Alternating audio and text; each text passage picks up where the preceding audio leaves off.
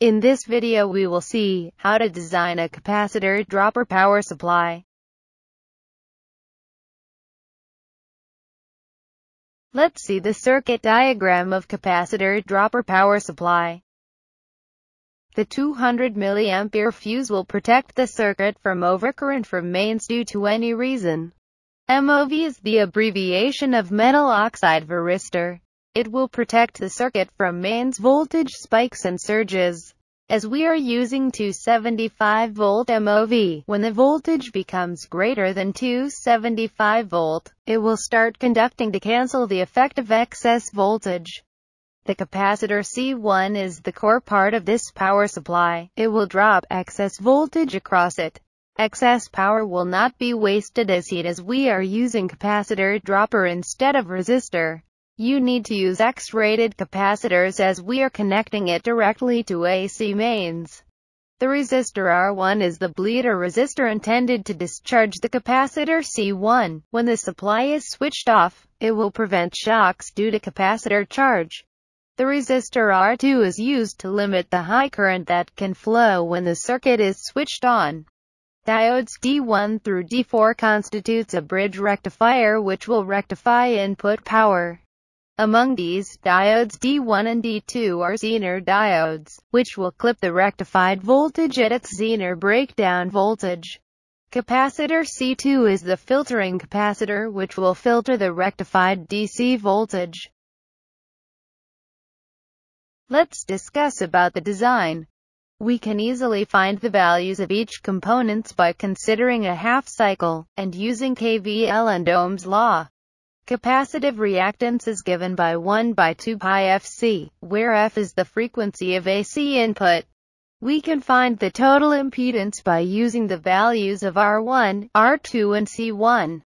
So the total current though the circuit is equal to input voltage minus forward diode voltage drop minus Zener voltage divided by total impedance. So the output voltage will be equal to Zener voltage minus the forward diode voltage drop. You can easily calculate the minimum power rating of each component by using the common formulas, I square R, or V into I. This is the circuit of a 12-volt, 40 mA power supply. Actual values are 11.3 volt and 46 mA. Hope you understand how to design a capacitor dropper power supply. Now, let's see our practical experiments. Here is what we made in a breadboard for testing. We used high power resistors than we get in the design. But we didn't find any heating effect in any of those resistors.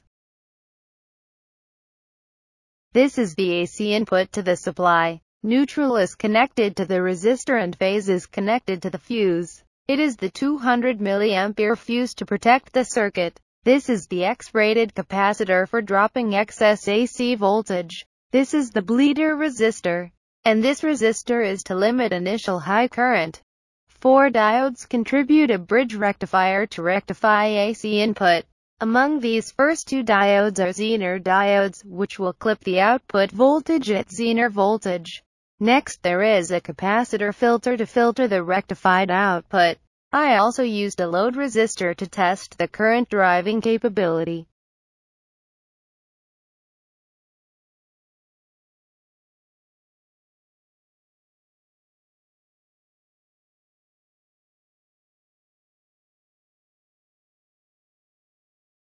Now, let's switch on the circuit. You can see that it is working good. The expected voltage was 11.3 volt.